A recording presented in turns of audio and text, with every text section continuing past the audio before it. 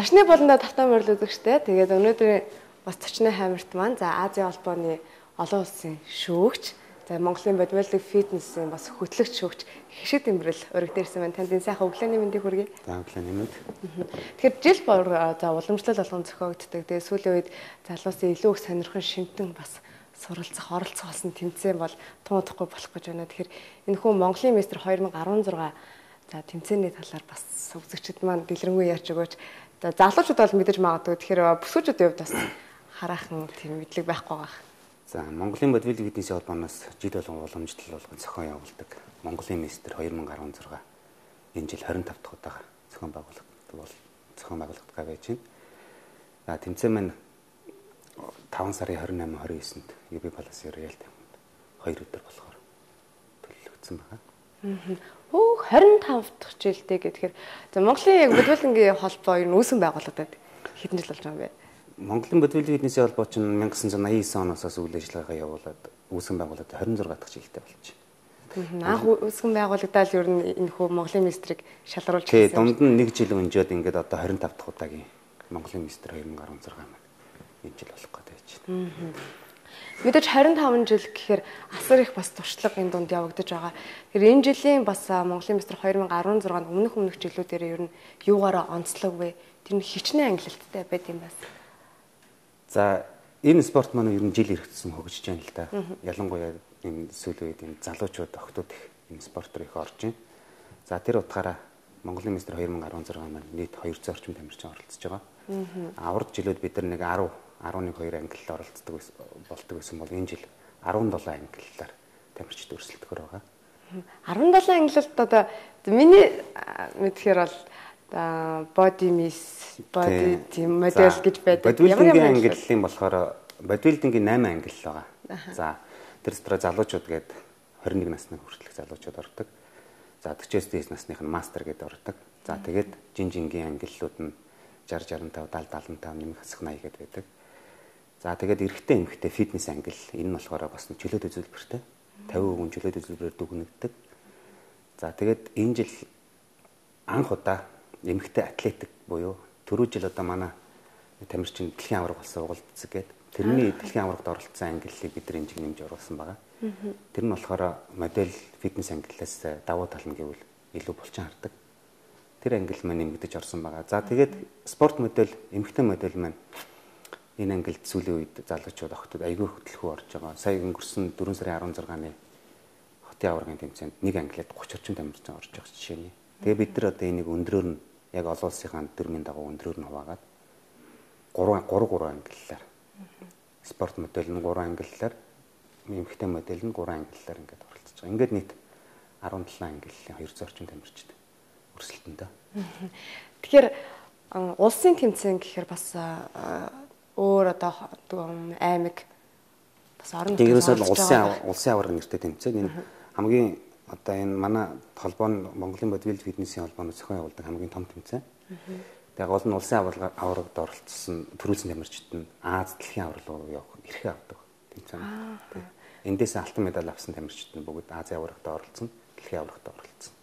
Тэгэхээр бас манай тамирчид ер нь за Аздаа ер нь дэлхийд энэ хүү спортоор ер нь ихэр амжилттай явж байна. За сүүлийн 2 жил бол амжилт бол эрс өссөн. Манайд одоо Азийн аварга байна, дэлхийн аварга байна, эмэгтэй, эрэгтэй бүгд байна. Орчин жил энтхийн Мумбай хотод болохоор манай тамирчин Нурлан дэлхийн аварга болсон. Сая бас өнгөрсөн энэ оны 3 сарын 22-нд манай Нурлан маань Монгол улсын гавья тамирчин болсон. Монголын бодибилдингийн түүхэнд анхны гавьяатай бид нар бэлгэдэж авлаа.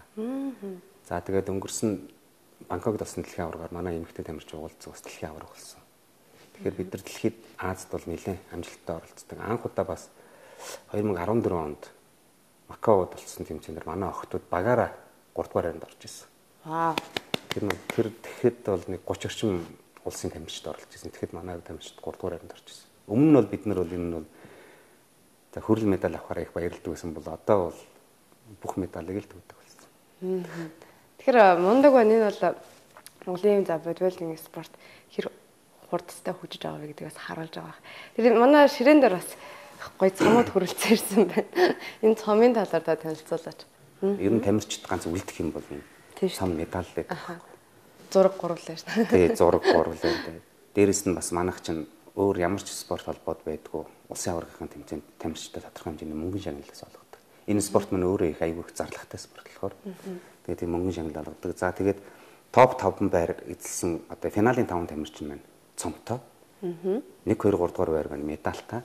Аа за. Тэгээд ийм замнууд бид нар захиалж авчираа замнууд маань саяхан ирчээд ингээд одоо тамирчтай эзэстэй хүлээж байна да. Өртөг их гардаг гэж байна шүү. Тэгэхээр бас хамтран зохион байгуулж байгаа байгууллагыг дурдвал ямар ямар байгууллагууд юу хамт. За яг тэмцээний үеэр бол ивент гэж байгууллагууд нэлээд олон гарч ирдэг. Гэхдээ миний би хэлэх гээд байгаа нь болохоор хамгийн гол юм нь манай үзэгчд байдаг. Энэ спорт маань дэлхийд үзэгчдэр ихний 10-т ордог спорт. А Монголдо бол бүр юу 10 баг үндэсний бүхэн дараа орж байна. Нэлээд олон үзэгчтэй. Бид нар үзэгч үзэгчдэр билетийнхээ орлогоор одоо энэ бүх санхүү бүх юм ер нь ихэнхдээ 50% нь бол бүрдүүлж чаддаг. Тамирчдынхаа мөнгөний шагнал. А тэгээ мэдээж event төгс байгууллагууд бол байгаа. Power Nutrition гэх жишээний Interfarm гэдэг уурган нийтлгүүрүүд бол бид нар тэмцээний үеэр event төгс оролцдог. Тэгэхээр бас энэхүү тэмцээнд оролцсон тулд ямар шалгуур байдгийн бодлоо эсвэл зүгээр за фитнесээр өөрөө ч юм уу нэг фитнест явж байгаад бие хөгжүүлсэн залуу сонирхлоороо би орё гэд орж болт юм болов. За ерөөхдөө болох болно. Гэхдээ клубуд маань өөрсдөө тамирчдыгаа бэлддэг. Бэлдээд одоо мэдээж улаанцан бас хэцүү бол оруулахгүй шүү дээ. Тэгээд клубын багш нар ер нь багш талхажуулагч нар нь бүгд тамирчтай бэлдээл тэгэл оруулж байгаа. Дээрээс нь сая энэ өнгөрсөн 4 сарын 16-ны Улаанбаатар хотын аврах шалгаруулах тэмцээнд ирээдүйн мистер гээд тэр тэмцээнд болохоор нийтдээ 136 тамирчин ороход 120 тамирчин анх удаа тэмцээнд оролцож ирсэн. Бид нар нөгөө нэг ирээдүйн мистер дээр улсын чанарт нөгөө улсын аваргаас медаль авсан тамирчид оролдог байхгүй юу? Шин залуу тамирчид гаргаж ирэхин тулд Одоо бид нар чинь наашаа медаль авсан тамирчид нь улсын авраг руу ингээд ороод ирдэг. Тэгэхээр за таны хувьд бол өнөөдөр зочин ч гэсэн бас нартай адилхан хөтлөгч. Тэр гэсэн про бодибилдинг одоо энэ хүү бас том тэмцээний хөтлөгч. Тэгэхээр яг тэр үед аа хөтлж байх явцад юм ямар сэтгэлтэй байдаг вэ? За ингээд залуучуудыг харахад би бол харах юм бол бүгдээрээ л гоё харагдаад байдаг. Тэгээ шүүгч гэхээр бас хэцүү байдаг. Тэр тэдгээр олон залуучуудын дундаас бас шүүгээд хамгийн мундаг гэдгийг гаргаж ирнэ гэхээр тэг яг хөтлөх шүүгч гэдэг маань болохоор яг тэмцээний удирдах хүн явуулдаг. Тийм тэгээд дамжтынхаа поз командын позыг бариулна. Аха.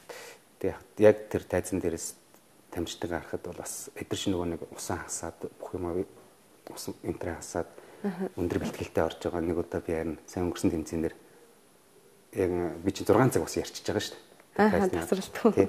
Тэгээ хүндээ хоолоо норчоод ус балгаж байгаад ингээ харсан чинь яг нэг нэг команд гэсэн тамирчид бүгд над руу харж ирсэн.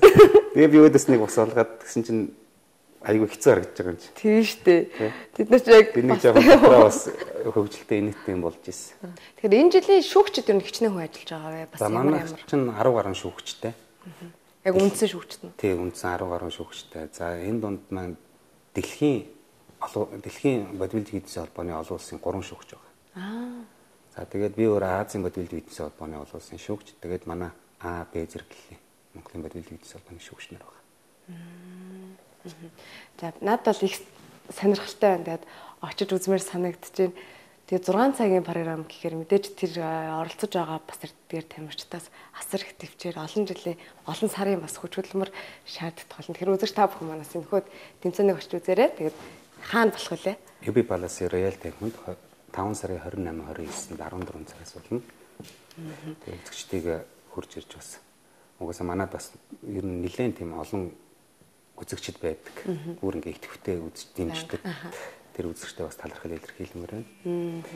За өнөөдөр бас бидний урилгыг хүлээн авч хүрэлцэн ирсэнд маш их баярлалаа. Тэгээд амралтай өдрийг сайхан өнгөрүүлээрээ бас тун удахгүй болох нөхөд тэмцээн бас энэ хүл ажиллагаанд амжилт хүсье.